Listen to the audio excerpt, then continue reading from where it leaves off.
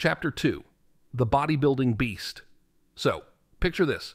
It's the 1960s, and Arnold is no longer just that ambitious kid from Austria. He's moved to Munich, where the gyms are bigger, the weights are heavier, and the competition still not ready for what's coming.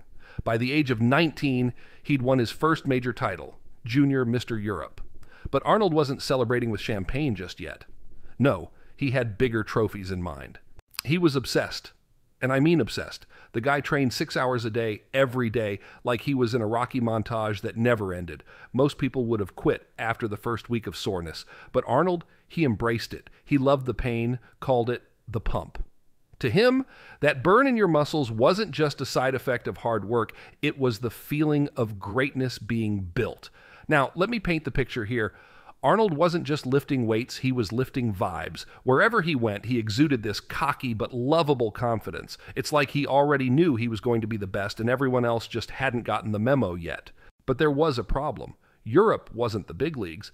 Sure, the competitions were decent, but if you wanted to be the guy, you had to head west, way west, to California. And Arnold, he had his sights locked on one thing Mr. Olympia, the holy grail of bodybuilding. Now, Here's where it gets fun. Arnold didn't just show up in America and start winning trophies. Nope. His first attempt at Mr. Olympia in 1969 was a total flop. He went up against Sergio Oliva, aka The Myth, a guy so ripped he looked like he'd been sculpted out of granite. Arnold lost, badly.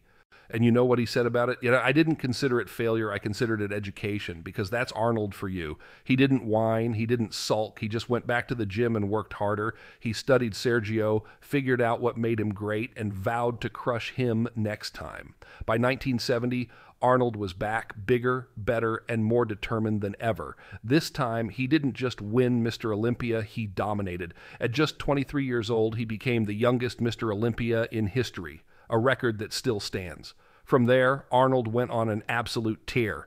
He won Mr. Olympia six more times. And each time he didn't just show up to compete, he showed up to own the stage. He'd flash that signature smirk, hit a perfect pose, and make it clear you're not beating me today or ever. But let's talk about what really made Arnold special. It wasn't just his insane physique. Sure, the guy had muscles in places most people don't even have places, but what set him apart was his mind. Arnold wasn't just a bodybuilder, he was a strategist.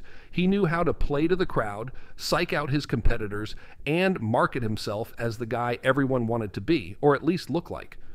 One of my favorite stories is from the movie Pumping Iron. Arnold talks about how he'd mess with his rivals backstage. He'd casually walk up to them before a competition and say things like, You look a little flat today. Did you forget to carb load? Boom. Instant doubt planted. That's next level mental warfare, folks. But here's the kicker Arnold wasn't just a showman, he truly loved the sport. He loved the discipline, the camaraderie, and the chance to push himself to the absolute limit. To him, bodybuilding wasn't just about looking good, it was about proving that with enough work, you could reshape your body, your life, and even your destiny. By the mid 70s, Arnold had become more than a champion, he was a phenomenon. People who'd never set foot in a gym knew his name. He was on magazine covers, in documentaries, and in every conversation about fitness. And then in 1975, at the peak of his career, he did the unthinkable. He retired. Why? Because Arnold wasn't just chasing trophies, he was chasing the next big thing. He'd proven everything he needed to in bodybuilding, and now it was time to take on a new challenge.